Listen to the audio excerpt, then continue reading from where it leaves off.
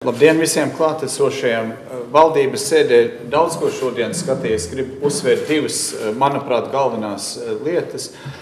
Pirmais ir mūsu iekšēt ministrs Ģeģenkungs kopā ar valsts policiju prezentēja faktiski vērienīgu reformu, kas ir saredzēta sistēmas uzlabošanai un sistēmas efektivizēšanai. Tur ir arī štata samazinājums, bet tur nav policistu skaita samazinājums. Un mērķis ir esošos naudas līdzekļus izmantot efektīvāk, gādāt par iedzīvotāju drošību un par valsts drošību kopumā. Ģirģenkungs varēs tālāk skaidrot šī ļoti, ļoti atbalstāms virziens un paldies Ģirģenkungam par šo, varētu teikt, arī tālredzību un valsts policijai. Un otrs jautājums, ko mēs izskatījām, ir arī ļoti nozīmīgs. Pulces kunga vadībā mēs apstiprinājām vienu pozīciju Eiropas Savienības ietvaros. Mēs apstiprinām katru nedēļu piecas, sešas pozīcijas. Kāpēc šis ir īpašs? Šis ir īpaši, jo no tā, ka mēs kā valdība kopumā esam teikuši, ka mēs vēlamies mainīt savu attieksmi iepratī ja klimata jautājumiem, no tā, ka mēs kā valsts vienmēr pretojamies un uzskatām, ka tas ir drauds, uz to, ka mēs saskatām, ka klimata politika vai klimata ekonomika ir arī mūsu valstī milz iespēja nākotnes attīstības ziņā.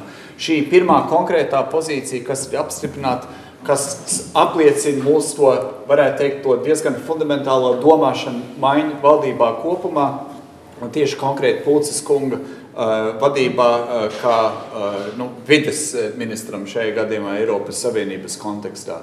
Tātad mēs divas diezgan vērienīgas pozīcijas šodien ieņēmām, gan ar vienu, gan ar otru ministru vadībām. Es gribu viņiem abiem izteikt tiešām paldies par viņu iniciatīvu. Lielas paldies ministra prezidentkungam. Tad vārds iekšlietu ministram Sandim Ģeģinam. Labdien! Šodien ministra kabinets ir apstiprinājis valsts policijas darba organizācijas un struktūra izmaiņu un pilnveidošanas sistēmu. Tā ir diezgan vēsturiska diena, jo no šodienas tiks veikts neatgriezeniskas izmaiņas valsts policijas struktūrā, struktūrā tiks pārvērtētas funkcijas, Mēs nepiekrītam stagnācijai. Policijai jābūt ātrai, mobilai un pieejamai attiecībā pret sabiedrību. Tātad galvenais uzsvars tiek veikts uz 632 amata vietu likvidāciju, saglabājot pašreizējo policistu skaitu. Tātad tiem, kas uz doto brīdi strādā, nav jāuztraucās par savām darba vietām. Nākamais posms, pie kā mēs strādāsim, būs sabiedrības iesaiste iekšējā drošībā, jeb community police institūts, kas nozīmē, ka sabiedrība palīdzēs policijai iekšējās drošības stiprināšanai cīņai ar noziedzīgiem nodarījumiem.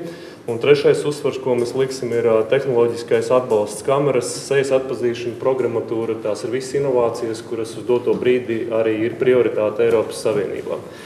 Nākamais, ko es gribētu teikt, ministra kabinets jau ir apstiprinājis ar jauno tiesību sargājošo iestāžu izglītības modeli.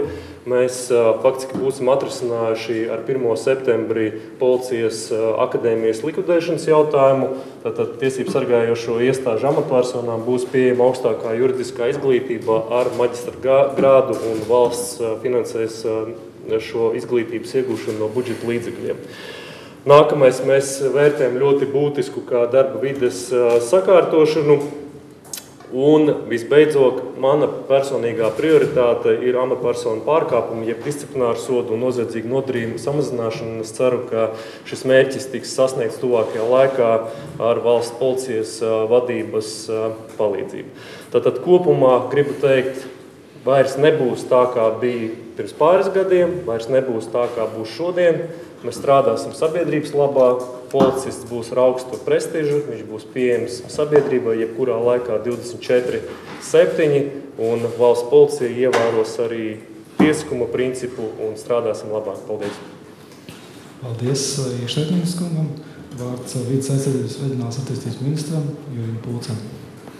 Jā, labdien, augstgadātie žurnālisti. Tātad šodien Latvijas valdība atbalstīja nacionālo pozīciju saistībā ar um, Eiropas komisijas paziņojumu tīru planētu visiem strateģisks Eiropas ilgtermiņa redzējums par pārticīgu, modernu, konkurētspējīgu un klimata, klimata neitrāla krimināla, kāda pārteikšanās. Klimata neitrāla ekonomika.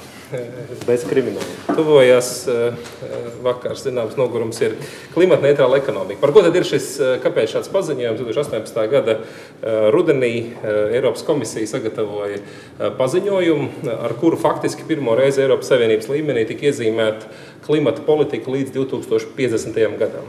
Atgādinājumu šobrīd ir spēkā jau saistoši mērķi, visu Eiropas Savienības dalību valstu kopīgi pieņemti mērķi 2020. un 2030. gadam, un jautājums, kas notiks tālāk. Un šī ir ļoti ambiciozs piedāvājums, par kuru dalību valsts viedokļi atšķiras. Un, uh, tas, ko mēs Latvijā vēsturiski, kad tika noteikti mērķi 2020. un 2030. gadam, ir bijis ļoti atturīgi. Mēs esam uh, izturējušies ar zināmu skepsi attiecībā uz saistošiem mērķiem, uz to, ko mēs varētu izdarīt klimata pārmaiņu mazināšanai. Un ar šo pozīciju faktiski mēs turpinām jau politiski izteikto, tā skaitā premjera Sibiju samitā 9. maijā izteikto pozīciju, ka Latvija vēlas būt to valstu vidū, kas klimata politikā ir avangardā. Nevis iepaliek Eiropas Savienībā, bet mēs esam par to, lai būtu ambiciozi mērķi. Nu, gan tāpēc, ka Eh, klimata pārmaiņas ir eh, mūsu visu kopīga atbildība. Eh, tā ir. Ar to mums būs jāsadzīvo, jo Latvija šobrīd sadzīvo ar klimata pārmaiņām. Tās sekas nav pozitīvas. Mēs nākotnē sadzīvosim vēl vairāk ar problēmām šajā jautājumā, un kaut kas ir jādara.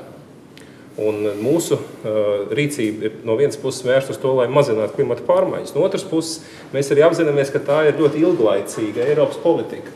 Faktiski šobrīd uh, tā ir uh, pieņemta un darbojas vairāk nekā desmit gadus, un šie desmit gadi ir radījuši milzīgas izmaiņas Eiropas dažādās nozarēs. Ir radušās jauni ražojoši uzņēmumi, pilnīgi jauni produkti, kādi vēl pirms desmit gadiem nebija. Un šos produktus ražojot, tiek gūta liela pievienota vērtība. Cilvēki un tautsēmniecības paliek bagātākas, pelna vairāk, ir vairāk labi apmaksāta darba vietu. Un uh, mūsu mērķis ir ne tikai mazināt klimata pārmaiņas, ne tikai piemēroties Latvijas iedzīvotājiem pārmaiņām, kas diemžēl jau ir notikušas, bet arī gūt labumu no šīs ekonomikas pārveids, no šī jaunā, jaunās industriālās revolūcijas, kas ir mūsu visu priekšā. Tāpēc ir šī pozīcija. Mēs esam ambiciozi savos klimata mērķos, mēs esam ambiciozi mērķos attiecībā uz klimatu pārmaiņām, lai tās ietekmētu pozitīvā ziņā Latvijas ekonomiku, lai šeit ražotu jaunas klimata tehnoloģijas, lai šeit taptu jaunā zaļā un zilā, kā tagad saka, ekonomika. Un, uh, šis ir tāds pirmais solis. Paldies eh, premjeram par atbalstu, paldies valdības pārējiem locekļiem par atbalstu. Pozīcija ir atbalstīta. Eh, tās ir arī šodienas liels notikums klimata politikā Latvijā. Paldies! Paldies, paldies ministram. Tagad laiks ir jautājumiem. Es atgādināšu, ka lūgums ir uzdot jautājumus saistībā ar, nu sākumā uzdot jautājumus saistībā ar ministru kabinetes sēdē skat, skatītiem jautājumiem, kuram būtu kādi. Un lūdzu arī Eh, iepazīstināt ar sevi un kuram jūs adresējat jautājumu? Eh, iekšļietu ministram uz jautājums Rudolfs Krieviņš eh, TV3 ziņas. Šis tikai plāns ir un kad, kad reāli jau varētu sākties šī reorganizācija? Mēs jau strādājam pie šīs reorganizācijas. Plāns bija samazināt 632 amatvietas līdz nākamā gada 31. decembrim, bet uh, Tur ir ļoti daudz procesu, kā jau teicu, ir sabiedrības iesaiste iekšējās drošības stiprināšanā. Mēs zinām, ka pasaulē attīstītās valstīs ir ļoti attīstīts community police, sabiedrības līdzdalība iekšējās drošības stiprināšanā. Iekšlietu ministrijai esmu uzdevis sagatavot jau grozījumus likumdošanā, kas attiecās dzīvojamo māju apsaimniekošanu, lai paredzētu drošības fondu uzkrājumus, kas palīdzētu veidot eh, tehnoloģiskos risinājumus, kameras. Mums ir jāstrādā pie vienota kameru tīkla izveides eh, eh, Latvijā, lai teiksim, tiesību sargājošām iestādēm būtu plašāks lauks konstatēt, kad ir sācies šis noziedzīgais nodarījums, kāds ir subjekts. Jo skaidrs, ka pasaule attīstās, cilvēku un transporta līdzekļu kļūst vairāk, un tikai ar acīm nav iespējams vairs objektīvi uzsākt šo izmeklēšanu. Līdz ar to nākot man, kā saka, ministram, uzsākot pildīt šos pienākumus, es tomēr uzskatu, ka mums jāstrādā kopā ar valsts policiju, jāiet laikam līdzi un jādara viss, kas atbilst Eiropas prioritātēm attiecībā uz drošību. Mums ir jābūt ātriem, mobiliem un efektīviem. Jā. Jā, un otrs jautājums. Šī izmeklētāja alga celšana arī tur bija paredzēta, un tam ir gadu būt nepieciešama nepilni 8 miljoni eiro. Tā, tās, to summu, nu, kā izskatās šobrīd, izdosies atrast vai ir jau kaut kur Protams, iekļaut viņu? Protams, šis jautājums nav tikai viens mans lēmums. Ir saruna ar premjeru koalīcijas partneriem, jāvērtē prioritāti. Bet tas, ko es varu pateikt, izmeklētāja alga uz doto brīdi ir neadekvāti zema. Viņa ir jāpiesaista rajona prokuratūras prokurora darba algai, kas ir aptuveni 2600 eiro pirms nodokļu nomaksas. Nedrīkst būt tāda situācija, kad vieglāk ir strādāt, piemēram, konvojā vai sežot pie monitora ar, piemēram, kapteiņu uzpličiem un tad divas, trīs dienas atstrādāt papildus darbiem, darbos. Es gribu teikt, ka mēs esam nonākuši pie tās situācijas, ka policisti ugunsdzēsēji faktiski strādā papildus divos, trīs darbos. Tā tas nedrīkst būt. Ir beidzot jāatzīst, iekšējā drošība ir valsts prioritāte numur viens kam, protams, arī sako izglītība, veselība, administratīva teritoriālā reforma, vai arī neizdevumi 1, 2, 3, 4, 5. Jāskatās visas problēmas vienā līmenī. Un es arī aicinu koalīcijas partnerus, un arī premjeru esmu runājis šos jautājumus. Viņš atzīst, ka iekšējā drošība Latvijai ir ļoti svarīga, un mēs pie tā arī strādāsim. Mārcis Kalniņš, Latvijas televīzija. Jautājums Kaļņa kungam negluži saistīts ar šīs dienas darba kārtību, bet pastāstīt arī ir saistīts. Iekšlietu ministrs Girļēna kungs ar ierakstiem Facebook ir norādījis, ka vairākas institūcijas, tostarp policija, iespējams nesamērīgi vēršas pret viņa māca kafejnīcā. Un iemesls ministrs saist ar savu politisko darbību. Tad jautājums jums, vai jūs neutrālat tas, ka iekšlietu ministra prāt Latvijas iestādes var šādi izmantot un uzbrukumu vērst tieši pret jūsu valdības locekli? šeit es domāju, tiešām nu, es negribu pārāk komentēt. Vienīgi to, ka man ir pilna uzticība mūsu tiesību sargājošām iestādēm. Un par iekšējā ministra izteikumiem es domāju, lai atbildētu pats iekšējā ministrs. Es jums varu atbildēt. Es jums vēl varu papildināt. Tad doma ir pavisam vienkārši. Kamēr es būšu iekšlietu ministrs, neviens neietekmēs manus lēmumus, un arī līdz šim viņu neviens nav ietekmējis. Kas attiecās par manas mācību uzņēmumu, neviena pārbauda nav konstatējusi nekādus pārkāpumus. Un es arī nepieļaušu, lai būtu interešu konflikts, arī šeit ir ķūža kungs ar apsolu, un arī to arī neesmu darījis. Es neiejaukšos nekāda veida izmeklēšanās vai jebkādās procesuālās darbībās. Bet tas, ko esmu veicis uz doto brīdi, secinājis vispār, kā mums notiek cīņa ar audiovizuālā satura nelicenzēto materiālu kontroli.